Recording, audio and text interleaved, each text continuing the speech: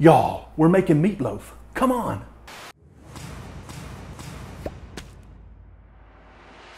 Welcome to Highfalutin Low Carb, the random web series where we find and test the best low carb recipes this crazy internet has to offer. Today, we're going to be tackling low carb meatloaf. Stay tuned. All right, guys, low carb meatloaf. Can it be done? Now, you're probably thinking, Wesley, uh, meatloaf is just a loaf of meat. It's got to be low carb. But you would be surprised in traditional meatloaf how many things add a lot of carbs to what could be a low carb option. Breadcrumbs, you've got whole milk often to make it moist. Um, glazes like with ketchup or barbecue or brown sugar, a lot of aromatic vegetables like onions and bell peppers. There are a lot of ways to add a lot of carbs to meatloaf. So today we're testing two of the most popular recipes online. And when I say most popular, it's not unusual for the recipes that I usually present to have maybe a few dozen positive comments, or if it's really good, there'll be maybe 100 or 200 reviews. One of these, I think it's four and a half stars, maybe it's five stars. Um, it has over 800 reviews. So the first recipe we're testing today is juicy keto meatloaf, and this is by the website healthyrecipesblogs.com with an S, blogs.com. And then our second recipe is bacon wrapped keto meatloaf. And this is by the website dietdoctor.com. So I'm excited to try both of those and let you know what I think about those. Before we begin, I need to give a huge thank you to Thrive Market for sponsoring this video. Thrive Market is an online marketplace on a mission to make healthy living easy and affordable for everybody. You can shop for hundreds or thousands of name brand products at up to 25% to 50% off traditional retail prices. Now, like a lot of big box discount stores, there is a membership fee to join Thrive Market.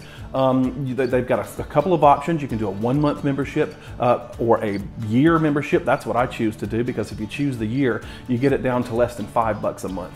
Um, but what's great about it is that they have a, um, a happiness guarantee. If you don't actually save in money, savings, of the products you buy by the end of your term, they'll actually refund you the difference in that. They also have a um, give back program, which means that for every membership they sell, Thrive Market gives one away to somebody in need, a family in need, a, a first responder, a veteran. Um, and it's amazing to see, even here in my own comment section, how many people have responded and say, hey, I'm part of the, the Give Back program, and it's so nice to be able to have uh, options, healthy options that are affordable for me. So thank you so much, Thrive Market, for sponsoring this video. Uh, I want you guys to use the link here down below. If you use that link, you will actually get uh, a, a, couple of free gifts up to like 24 bucks um, for um, signing up today. So um, do that. It's, it's risk-free. Like I said, if you don't actually save the money in your membership fee, they will refund you the difference. You can cancel within 30 days either. Anyway, so um, thank you Thrive Market for sponsoring this video. I really appreciate it. It's sponsorships like yours that keep channels like mine on the air, especially during crazy times like this. So I thank you for your support. If you guys want to support me, go support them by going to the link down below and checking out what they have to offer. So thank you so much. And now let's make some meatloaf. All right, guys, so we're here for our first recipe, and this is Juicy Keto Meatloaf by the website healthyrecipesblogs.com. And that, the link will be down here on the screen as well as in the video description below. If you're new here, um, uh, welcome. Uh, if you're not new here, welcome back. Uh, but if, you, if you've been here any length of time, you know that I don't give exact measurements for recipes. These are not my recipes. I'm just here to test these recipes the people that did do the hard work of creating these, they deserve the traffic. So I ask that you go to their website. It's going to be here on the screen, and you'll find all the exact ingredients for the recipes that we're going to make here today. But for now, we're going to start with a fairly simple recipe. There's not a whole lot to this. And we, we start with an egg, and then we're going to add some spices to this uh, before we add our ground beef, right? So to this is going to be, uh, this is garlic powder, onion powder, and a little bit of dried thyme. Okay, so in that goes. And then standard salt and pepper, right? So all this goes in the pool. Here, you need a large, this is pepper, black pepper. Again, if you need to know exact ingredient amounts, use the link down below. And let's just create a little bit of a slurry with this egg. And you need a pretty large bowl because um, she's correct in what she says here that um, the most important part about meatloaf is not overworking it if you spend too much time um, handling that beef, whether it be with your hands, which we're going to do here today, or a, a spatula, whatever you're going to use, um, you will make it tough. It is easy for that to become tough and hard. So the less you touch it and, and mess around with it, the better off we're all going to be. So now to this, we're going to add our ground beef, and she specifically says that it needs to be um, 85-15 and no leaner than that. And um, so that's what I've done here. So we're going to add, this is actually, I will tell you this amount, it's uh, two pounds of, of ground beef. So in this goes into our bowl. All right. Wash my hands, hold on. So we've got our ground beef and our egg and our spices in the bowl, and to this we're going to add a couple of things. The first is finely grated Parmesan cheese, and she specifically says um, do not use shredded cheese. It needs to be finely grated. So do it. Uh, take a hunk of Parmesan and put it in a blender or or something like that. Or you can, if you can buy it pre-ground, that, that, it's up to you. Now I'm going to tell you the way I put this in there kind of matters because if you just dump everything in the center of all this beef, you've got to work that beef really a lot with your hands to evenly distribute everything. And that's what we're trying to avoid doing is touching and messing with it too much to keep it light and fluffy. Um, same applies for hamburger uh, uh, patties, by the way, as well. Um, so it helps to actually spread this out over the mixture so that you've already started incorporating it before you even began the recipe. Also, a little bit of almond flour. And um, you know I always sift my almond flour because I leave it in the um, pantry. So sift this over. And this sort of helps uh, it acts as a breadcrumb replacement and sort of absorbs some of the moisture that's going to come out of this beef. Because if you've made meatloaf you know that it, it you know it's going to it's going to um, uh, let out a lot of, of liquid. And this is going to help with some of that capture some of that. So impeccably clean hands. Let's just mix this together, okay?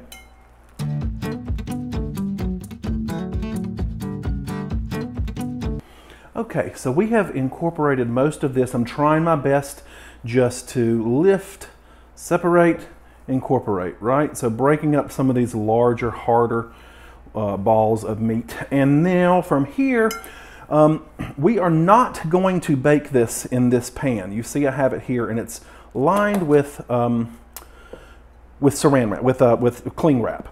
We are not baking it in here. And most recipes that I've seen, and even before the low carb situation is, don't make your meatloaf in a loaf pan because it's just going to sit and bake in its own grease and it's not going to crisp up. And we want the outside kind of crispy. So uh, she uses a technique of loading it into a baking pan, a baking loaf pan, just to get a good shape on it. And then we're going to transfer this to a foil lined baking sheet and bake it that way so that it actually gets crispy on the outside and the glaze does its job and all that good stuff. So let me get this out of the way. Hold on. So just be careful here. And this is where you can, you know, you want to make it into a loaf but you're not trying to push hard, but you do want it to hold together, right? I mean, it's got to hold together in the oven. Um, so just get it into a, a rough rectangle shape, and then we're going to lift it out of here and place it on our pan. Now, she also said uh, she had some very specific rules, and so we're going to follow them because you know I follow recipes exactly as written. That's the only fair way to review a recipe. Can't make changes to it and then make a review at it. Um, is that this needs to be cooked in a, on a metal baking pan with foil and not parchment and not in a glass pan. So um, that, that got the best crust and that it needed to be cooked at 350 degrees and no hotter and no cooler. Um, so that's what we're gonna do. All right, I'm gonna wash my hands. I'll be right back, hold on. We've got our foil lined baking sheet and we're just gonna put this down here so that it comes out as a nice rectangular loaf. Just discard all of that and wash that pan. So here we go. Let's just kind of pull it back together in case anything broke apart. Again, don't fuss with it too much, but you do want it to hold together. Gotta wash my hands again.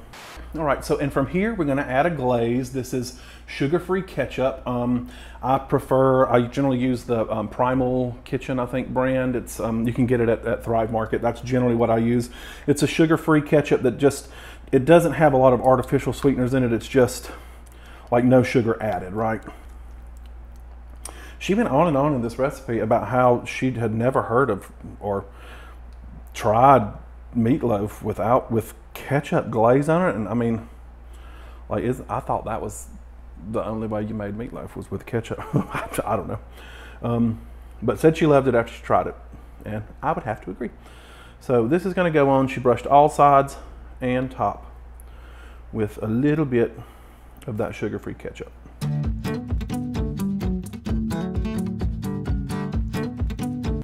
All right, so we are ready now. This goes, look how beautiful. It looks so nice. I like the idea of putting it in uh, the loaf pan to shape it before you put it in the oven. So this is going to go into the oven and it's going to take a while. 350 degrees, this is going in for 50 to 60 minutes. You want the center and the thickest part of it to register 160 degrees just, just to be safe. So we're going to do that now. I'm going to clean up and wash up. I'll show you this when it comes out of the oven and we're on to recipe number two. See you in just a bit. All right, guys, so we are back now with our second recipe. Our first recipe is not quite out of the oven yet, but I wanted to go ahead and get started on this. And this is a bacon wrapped keto meatloaf by the website dietdoctor.com. And this is a very popular recipe. It also includes a gravy, a separate gravy, and I'm sure it would be fantastic. Uh, but we're omitting the gravy today because, I mean, everything's better with gravy, right? but to be as fair as possible, we're testing the meatloaf. All right, so now we're gonna start with um, our ground beef, but first we need to saute a little bit of onion. And so let's just get this butter melted. And um, this recipe is a little bit different from the other one. The other recipe included, remember, Parmesan cheese and um, almond flour to help soak up moisture. And this recipe is including things like uh, aromatics, which are going to release some moisture, and then heavy cream. We're adding moisture. So that's why I chose both of these. They seem to be two polar opposites of each other, but we're going to test which one is the best. So let's get this going, and we're going to saute these onions in this butter.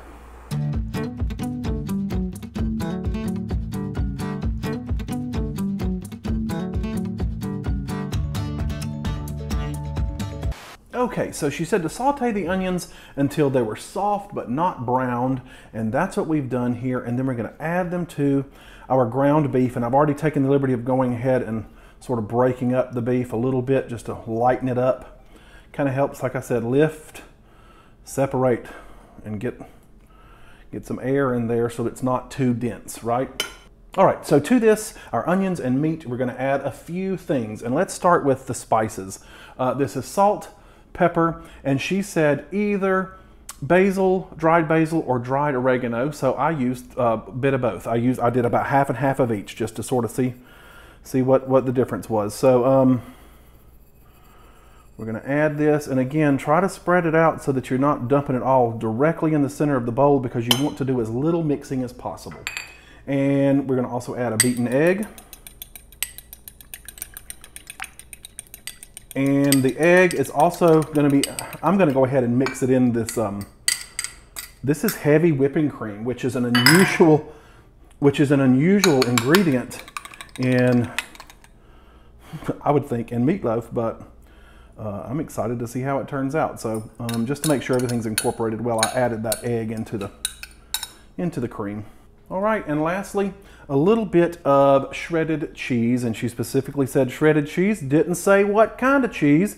Reading the um, comments, I found most people used uh, mild cheddar, so that's what, that's what I used as well.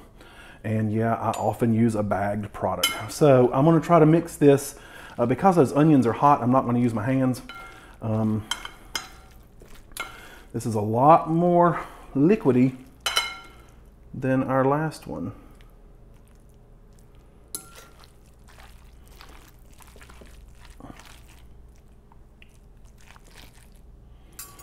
I'm very intrigued by this, the heavy cream. That sounds really interesting. Okay, that's about as much as I want to mess with that. So from here, we obviously shape this in a loaf and it's bacon wrapped keto meatloaf. So her instructions are pretty sparse. She says to um, form it into a loaf and wrap it in bacon and bake it in a baking dish, specifically a glass baking dish because you're going to save the meat drippings for the gravy. Um, so she did not say to do this, but I'm going to go ahead and do. I really liked that technique, the last one of using a loaf pan to make it into a loaf. And this also gives me the opportunity to lay my bacon out and put the, you know what I mean, wrapping it, fully wrapping it in bacon.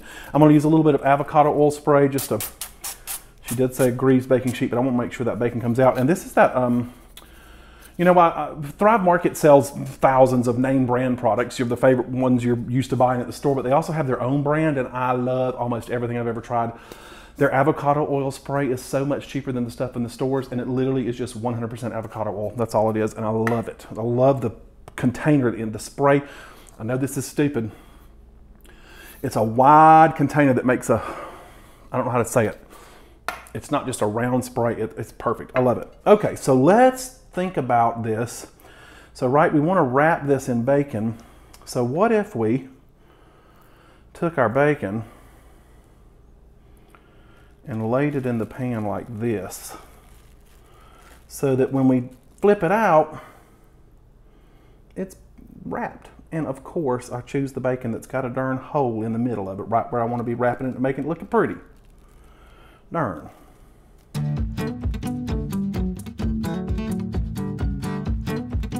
All right, this proved easier said than done because the bacon does not want to sit upright. It wants to slide out of there, but we're gonna figure out what we can do. So, throw in our meat mixture.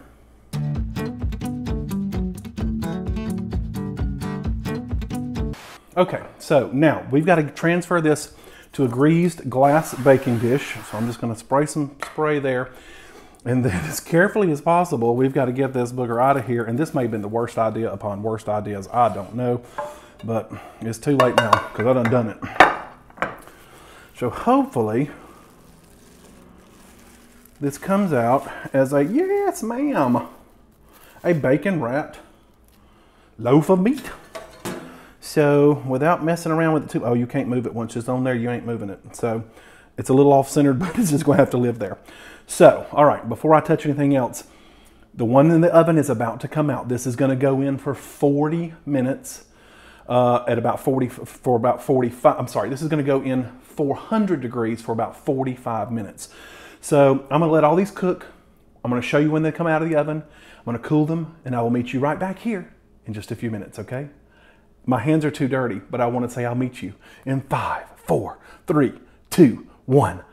All right, so we are back and ready to test these beautiful meatloaves. As you can see, they're both here, ready to go. This one's gonna be a little bit cooler than the second one we made, but it is still cool because um, it's just, you've, you've got to let them rest for a little bit to, to absorb some of the juices. So before we test these, let's talk about nutrition. And I'm gonna give you the nutritional samples of this. But also before we begin, let's talk about how it can be problematic trying to calculate uh, macros for a recipe like this. So I know this is not the most appealing thing in the world, but I actually scrape. You know how when you make a meatloaf on a plan like this, you've got a lot of residual juices and fat that come off of it to the tune of that right there.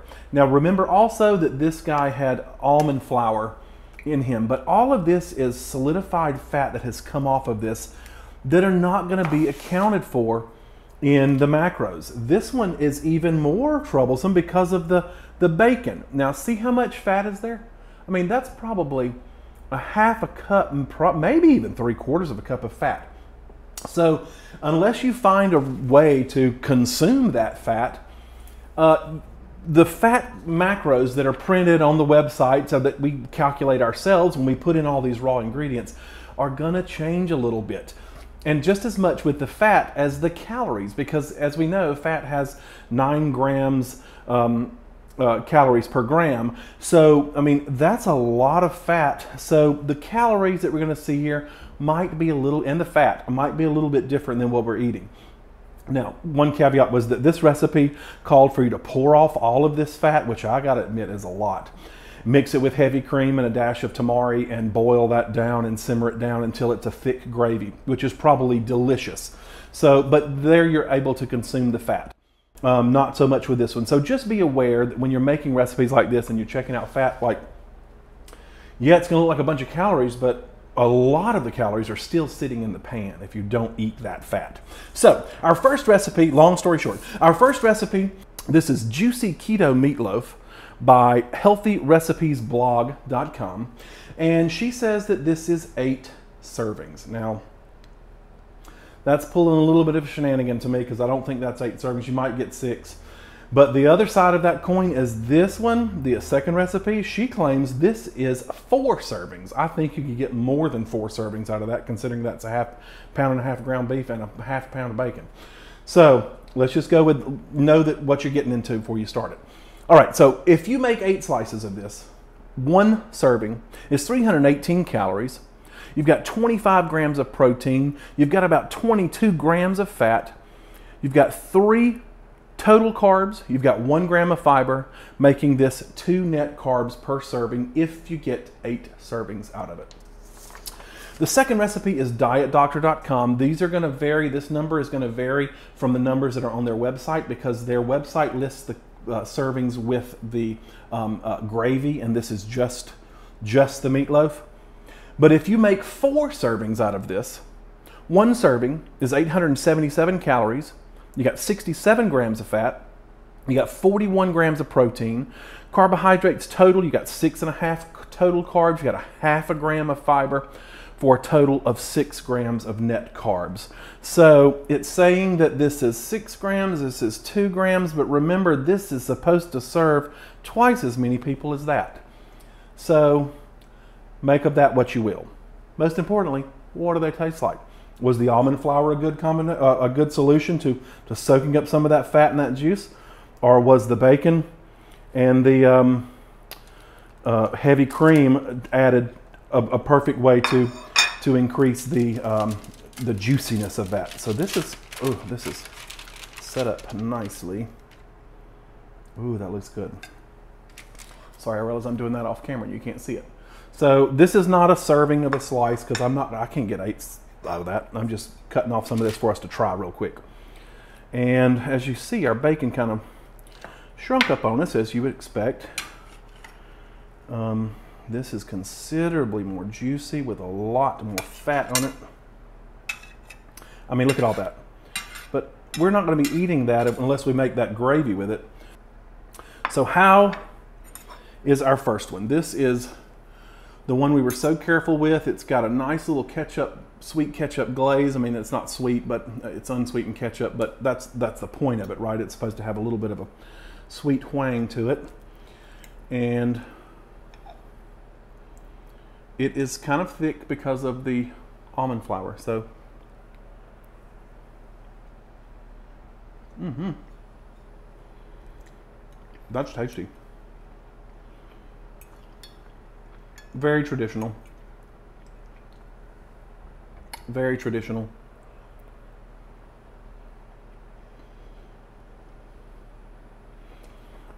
Little bit tough. Could have been my fault. Mm. No complaints. Mmm. Okay, that was really good. Now let's try our bacon wrapped. And again, her recipe calls for gravy with this, but holy, okay. First of all, it is much more tender. I mean, it's got a half a cup of heavy cream in it and nothing to soak up. Look at that. Can you see that?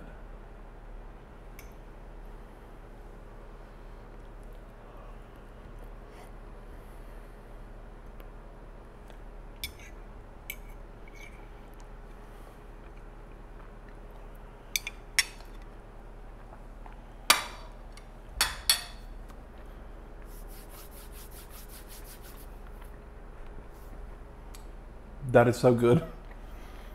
That is so incredibly good. Juicy. The bacon. The onions. The onions. Now, I know you're going to say onions are full of carbs, Wes. Onions are high carbs. Yeah, yeah, they are.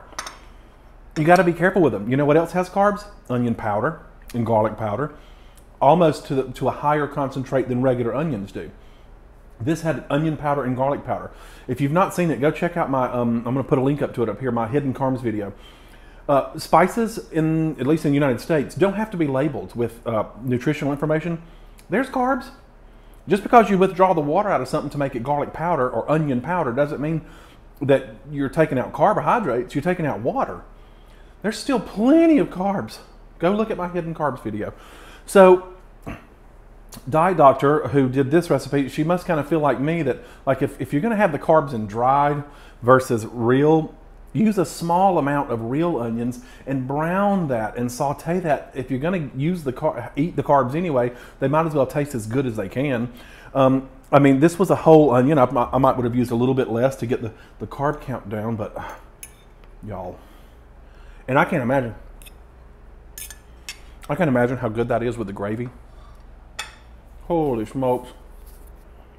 Wow. okay. These are both really good, and I like ketchup glazes, but I got to give this one hands down to dietdoctor.com recipe because wow, that is fantastic. So there you have it, folks. Can it be done? Low carb uh, meatloaf? You doggone better believe it. If you like the traditional ketchup kind, try this. Um, I might even add a little bit of the heavy cream to it, like we did in this recipe, because wow, this was so juicy and good. So thank you for coming along for the journey, guys. I say this every time. These videos are a way for me to maintain my low carb way of eating, and looking in the end of that camera as often as I can helps keep me honest. So I appreciate that you have come along for the journey.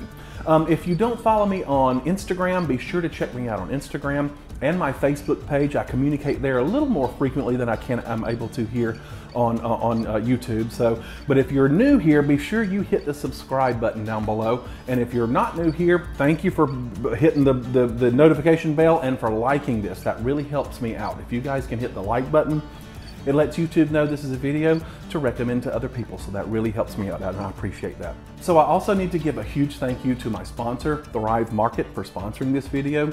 Uh, thank you so much for that. Um, if you guys want to support me, go support them. Check it out. Use the link here on the screen or in the video description down below, whether you choose the one month or the year membership that I do that gets it down to five bucks a month. Right now, if you use this link, you can get a free gifts up to 24 bucks with your first order. And as always, all shipments over $49 are free. And I think it's like the average person, uh, the average user of Thrive Market saves like 32, I think it's 32 bucks per order uh, just from the natural savings of, of shopping through there versus your regular supermarket. So I can't recommend it highly enough, and they have been very good to me. So please go uh, share the love and, and check out their link below. Thank you so much, Thrive Market.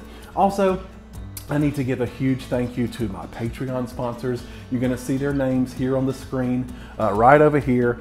They uh, are rock stars. If you don't know what Patreon is, think of it as the tip jar for the internet. It lets people like you who enjoy what people like me do here on YouTube. You give a dollar to a month just to sort of keep the train on the tracks, and there's some special content over there for you that's just for Patreon members as well. So um, I thank them so much. Without you, I couldn't do this, and, um, and, and your, your support means more than you can imagine. So thank you so much. I'll see you over on Patreon. Otherwise, I will see you guys in a very few uh, short time. I've got another video coming out right after this one. So thank you so much. I love you, and I'll see you soon.